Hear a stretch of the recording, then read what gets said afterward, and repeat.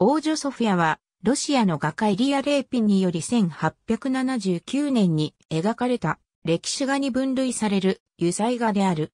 正式名称は、ノボデビチ修道院に幽閉されて1年後の王女、ソフィア・アレクセイエーブナ、1698年に重兵隊が処刑され、彼女の使用人が拷問された時である。モスクワにあるトレチャコフ美術館に収蔵されている。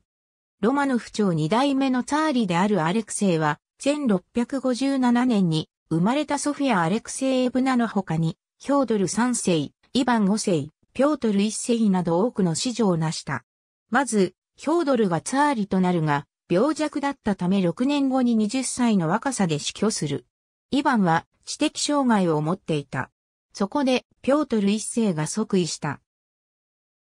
しかし、ソフィアは25歳の時、重兵隊の反乱を起こさせ、イヴァン5世をツァーリとし、ピョートルを名目上の共同統治者として、自ら摂政の座につき、実権を掌握した。ソフィアはピョートルを田舎に追いやった。二度のクリミア遠征の失敗などの失勢に苛立ったソフィアはピョートルを取り除くために重兵隊の反乱を起こしたが失敗する。1689年、ソフィアはモスクワのノボデビチ女子修道院に幽閉され、ピョートルは改めてツァーリとなる。9年後の1698年、重兵隊の反乱が起きると、ソフィアを支持した1500人近くの兵士が処刑された。さらに、ソフィアが反乱を指揮したという証拠がなかったのにも、かかわらず、ピョートルは、ノボデビチ女子修道院のそばにも、処刑台を設け、さらには、反乱を首謀したと思われる3人の兵士の死体を、ソフィアのいる部屋の窓の外側に吊り下げた。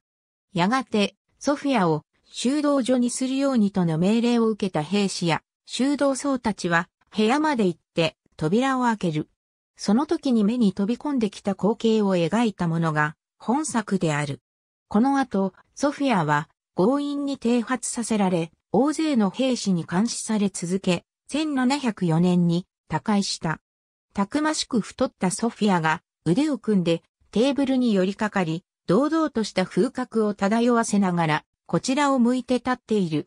唇を真一文字に結び、眉間にシワを寄せて険しい表情で怒りをあらわにし、血走った目を見開いて、睨みを聞かせている。修道院に幽閉されたソフィアを支持していた兵士が、処刑されたことへの憤怒と苦悩が描かれている。黒ずくめの服を着た次女が奥で怯えて縮こまっている。テーブルの上にはページを開いた状態の本、飲みかけのグラス、羽ペンや食台などが置かれている。画面右側に見える窓は逃走を防ぐために開閉ができなくされており、窓の外側には重兵隊長の死体のシルエットがぼんやりと映っている。ありがとうございます。